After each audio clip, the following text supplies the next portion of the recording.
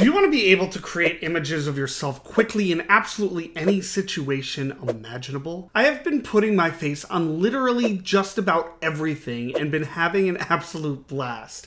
Now, you might need headshots for business and you can't just get out and shoot them. I like to use it to make YouTube thumbnails for my YouTube channel. You might even have a movie or a TV show that you're making and want to visualize your actors in a certain way before you actually get them into wardrobe and makeup and get a location and get your entire crew out there for a shoot. You can also just make fun pictures for just about anything for no reason at all because you just want to see what it would look like to be riding a dragon. Yes, I did that.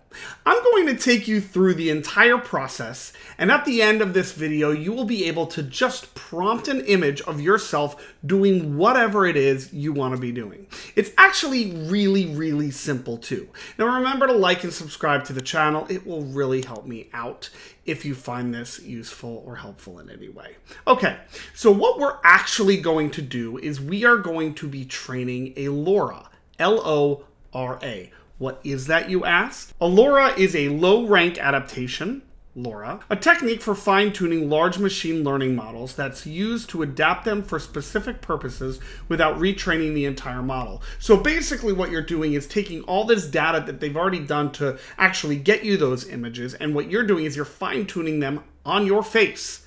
Yes there you have it. First, what you're going to do is you're going to go to fal.ai. That's F-A-L.ai. You're going to sign up for an account right here. I've already done that, so I'm going to just go through the process. Now, you're also going to have to sign up for a GitHub account. Uh, if you don't know what GitHub is, that's the place where people basically put their code and developers go to fork or basically take other people's code and use it to build applications. So you're going to have to sign up for a GitHub account, link your GitHub account, uh, just like that, it's going to say continue with GitHub, just like you do two step authentication for Google or for any of the other programs that you use and applications that you use. At the top of your page, you are going to click on the word explore. That's going to take you to this page. And right on the front, you see right here is a big banner and it's a Flux is here. Train a Flux LoRA. You're going to just click on that and then you are going to be here where you're going to train the Flux LoRA. And now, what you're going to need is you're going to need about 20 to 25 images of yourself. And you're going to want them in different sizes, different backgrounds, and you want to make sure that they cover the gamut of different compositions. I actually just took mine and I went into Canva because I like to uh, actually have the same size image. So I went in there, I cropped everybody out who was not me. And um, if you look right here, uh, these are my 20 to 25 images. You'll see I have glasses in some. I turn my head in others. I have a larger beard. I have less of a beard. And um, this is just me in all sorts of different positions. Uh, and, you know, see some I'm further away, some I'm closer to camera. And then what you do is if you do this in Canva or you do it somewhere else. So what I did is I just took all of these and I uh, downloaded them into a zip Fal. So PNG is suggested. I just used all of the pages and I hit download. Takes one second. Now I come back over to file and then I am going to upload my zip. So it says add images and the you could just add the images right here or you can pick a zip file.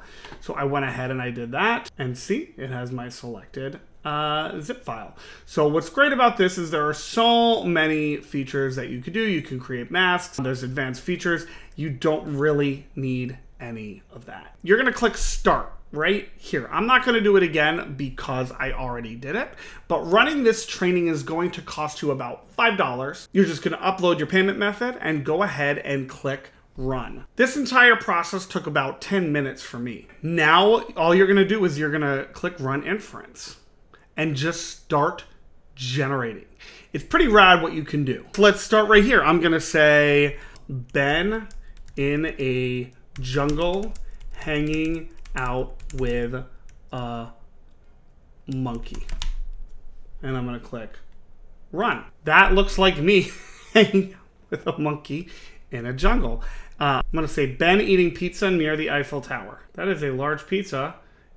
That is the Eiffel Tower. Let's try this one then getting ready to bungee jump off of the Statue of Liberty.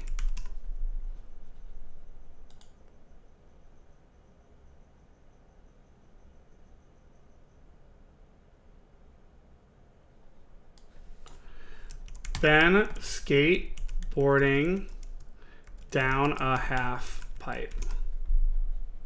I have never skateboarded in my life, so this actually would never happen.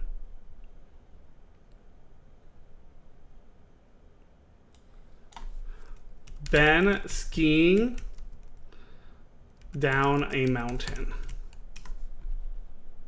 I love this so much. It's pretty incredible what you can do.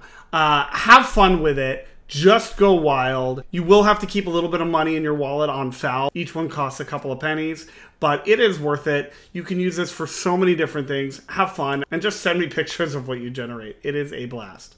Thanks. I'll see you next video.